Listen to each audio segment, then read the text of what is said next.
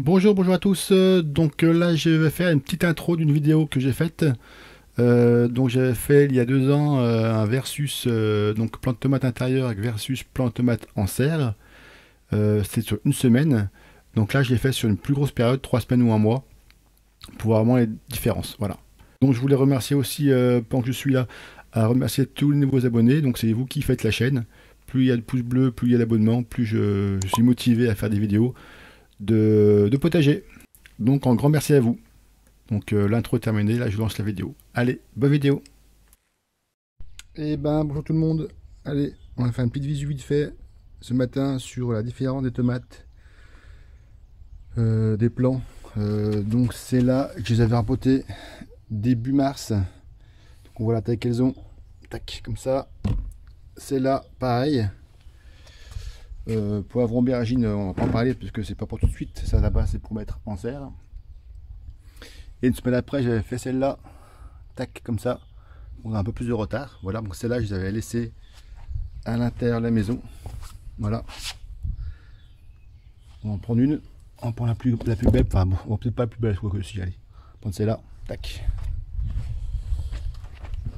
Et on va faire un comparatif avec celles qui sont dans la serre.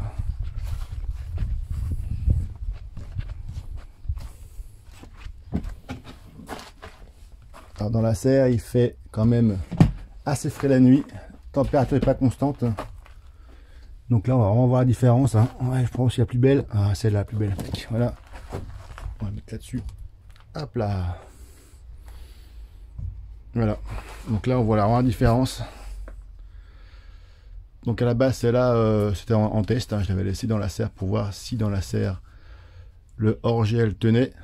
Bah, le hors-gel, j'ai pas de hors-gel encore pour voir si euh, en mettant dans un bac à moitié fermé, ça tenait le froid. Ça tient le froid, mais euh, il n'y a pas eu de grand grand froid. Mais on voit la différence que dans la serre, ben, le fait d'atteindre des températures la nuit de 0, 1 degré, euh, ben ça, le plant quand même il stresse un peu et il pousse moins bien.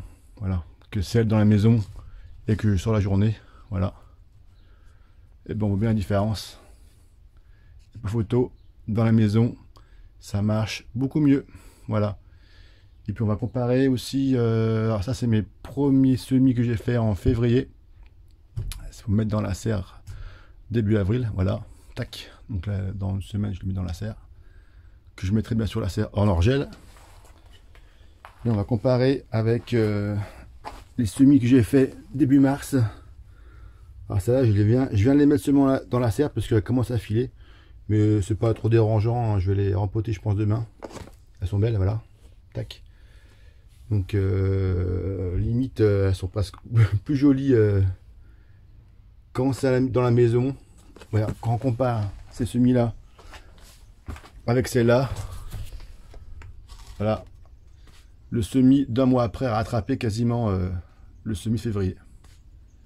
Donc ça c'est des essais, ben mettre euh, les semis, les plants plutôt, ou les semis rempotés, ça fait des plants, dans la serre, ça ne sert à rien en fait. Il fait trop froid la nuit. Faire des semis euh, début mars, ça rattrape les plants de la serre. Bon, celles-là, alors celles-là, elles ont déjà subi le stress du rempotage. Celles-là n'ont pas encore subi le stress du rempotage. Donc euh, je vais les rempoter demain et on verra techniquement dans trois semaines si celle-là aura pas repris du poids de la bête par rapport à celle-là. Voilà. Donc c'était euh, mon test de semi début mars, semi février mais mis dans la serre, semi début février, semi euh, oui semi début février, rempoté et dans la maison. On voit la différence des trois. Voilà, c'était tout. Sur ce, bonne journée à vous et bonne semaine